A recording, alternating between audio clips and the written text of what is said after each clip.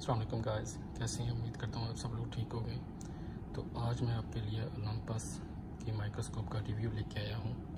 ये रिव्यू उन लोगों के लिए है जो कि डॉक्टर्स हैं लैब में काम करते हैं, किसी हॉस्पिटल में काम करते हैं, किसी रिसर्च अदारे इंस्टीट्यूट में काम करते हैं, क्योंकि ये माइक्रोस्कोप वहाँ पर यूज़ होती है।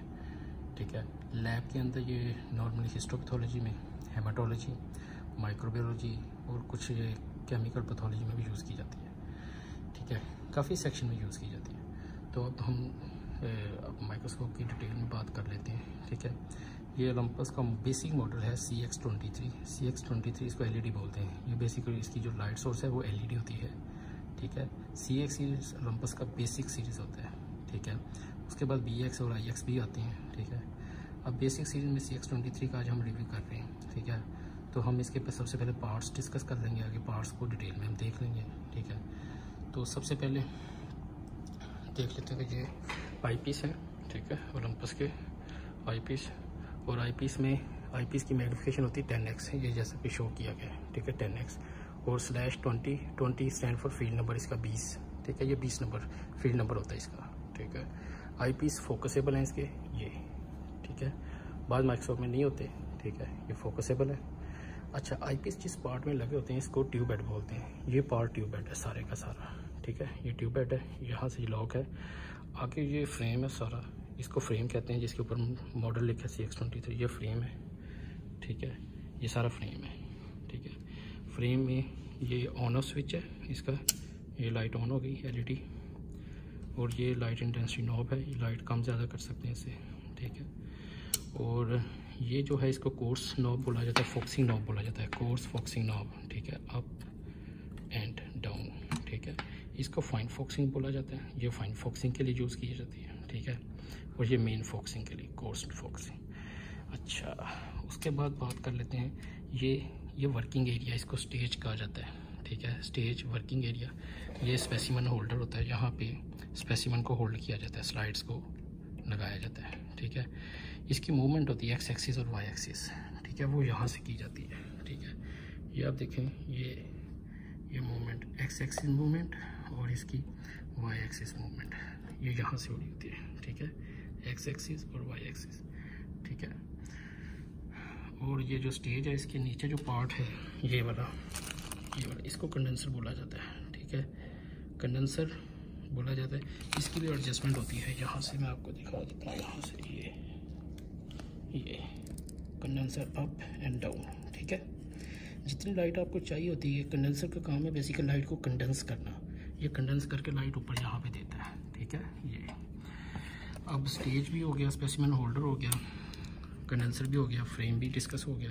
अब हम मेन पार्ट की बात करें तो वो मेन पार्ट है लेंसेज या ऑब्जेक्टिव इनको बोला जाता है, ये, ठीक है?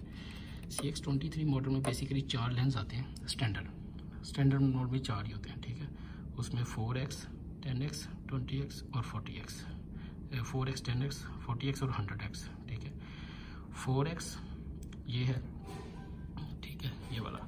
उसके बाद इसको नेक्स्ट करेंगे तो ये टेन एक्स है, यहाँ से आपको, ठीक है? टेन के बाद next forty this one forty X और उसके बाद हंड्रेड एक्स हंड्रेड के बाद फिर फोर एक चीज़ आप नोट कर रहे होंगे कि हर लेंस के ऊपर कलर बैंड है। ये कलर ब्रांड यूनिवर्सल होते हैं, चाहे माइक्सो कोलम्पस हो नाइकॉन जाइस कोई भी ब्रांड हो, ये यूनिवर्सल होते हैं। रेड कलर जो है वो फोर को ज़ाहिर करता है। आपको फोर यहाँ नज़र नहीं आएगा, छोटा सा लिखा ठीक है? तो दूर से डॉक्टर को कंसल्टेंट को कलर से पता चल जाता है। Red stand for four X उसके बाद yellow stand for ten X और blue stand for forty X और ये ऑयल मर्शन है, ठीक है? हंड्रेड एक्स ब्लैक हंड्रेड और वाइट ऑयल मर्शन को शो कर रहा है, ठीक है? अब हम मैग्निफिकेशन की बात कर लेते हैं कि जब हमने फोर एक्स इंगेज किया तो हमारी मैग्नीफिकेशन कितनी होगी ये बहुत कम लोग जानते हैं, ठीक है? तो इसकी मैग्नीफिकेशन उस टाइम पे जब हम फोर एक्स पे फोकस किया होगा स्पेसिमन तो ये four into ten ten eyepiece ये जो आपने आई पीस का टेन देखा टेन ये, ठीक है? टेन टेन इंटू फोर तो ये फोर्टी टाइम्स आपको दिखा रहा होगा, ठीक है? मैग्नीफिकेशन जब आप ये वाला इंगेज करेंगे टेन एक्स इधर से देख लीजिए तो ten into ten eyepiece hundred times ये दिखा रहा होगा। जब आप इसको इंगेज करेंगे फोर्टी एक्स तो forty X in multiply by ten eyepiece तो ये फोर हंड्रेड टाइम आपको दिखा रहा होगा। और जब आप हंड्रेड एक्स इंगेज करेंगे hundred multiply by ten thousand time आपकी मैग्नीफिकेशन हो रही होंगी, ठीक है? तो मैग्नीफिकेशन आपकी वेरी करती है, ठीक है ना? तो ये बेसिक मैंने आपको इसके बारे में बताया है। ये बेसिकली उन लोगों के लिए जो डॉक्टर कंसल्टेंट या अभी स्टूडेंट लेवल से आगे जा रहे हैं, ठीक है, उनके लिए।